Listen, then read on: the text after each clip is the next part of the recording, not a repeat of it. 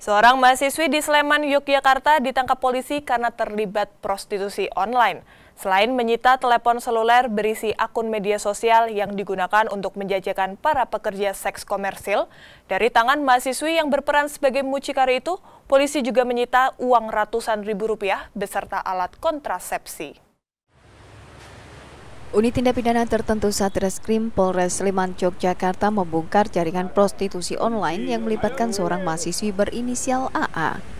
Tersangka ditangkap aparat polisi di salah satu hotel di kawasan Condong Jatur, Depok, Sleman.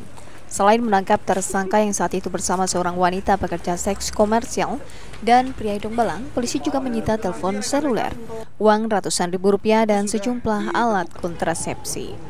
Kepada polisi, tersangka mengaku berperan sebagai mucikari yang bertugas menjajakan para pekerja seks komersial.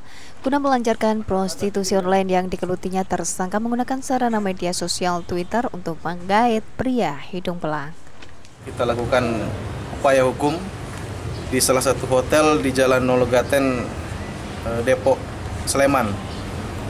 Kemudian telah berhasil kita tangkap eh, satu orang mucikari yang mana menggunakan sarana media online untuk untuk melakukan uh, kegiatan prostitusinya. Berdasarkan iklan yang ditulis dalam akun media sosialnya, tersangka memasang tarif Rp500.000 per jam untuk jasa layanan seks yang ditawarkan.